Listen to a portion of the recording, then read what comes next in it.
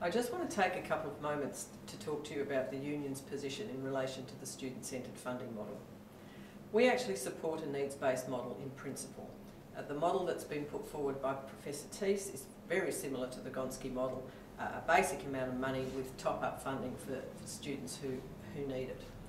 Uh, our concern is not with the model per se, but with the fact that it's actually been being introduced without any additional funding.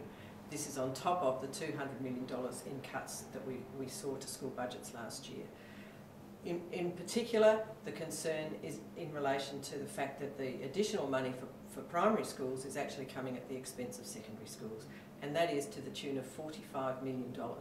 Now, we don't have that many secondary schools in WA, so $45 million is a huge impost uh, coming again on top of the, the cuts that they already have had this year. What it actually means is that about 250 schools will lose money in this redistribution.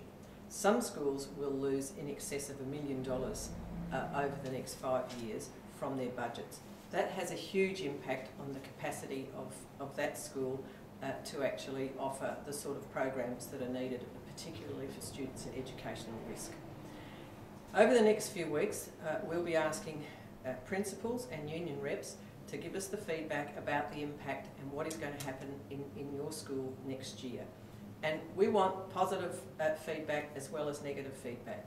Uh, it's really important that we get an accurate picture of how this is actually going to translate into every school across the state next year.